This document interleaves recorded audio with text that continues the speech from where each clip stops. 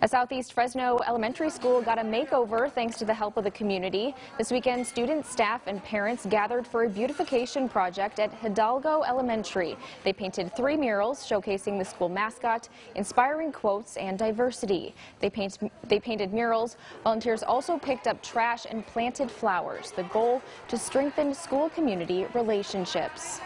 Parents wanted to be part of the school, and um, now it's a chance for them to be part of the school and to make it theirs, to make it their, it's their neighborhood, and I wanted it to make it a place where it was special and that they love being on campus. Local artist Michael Vasquez helped the students create the murals.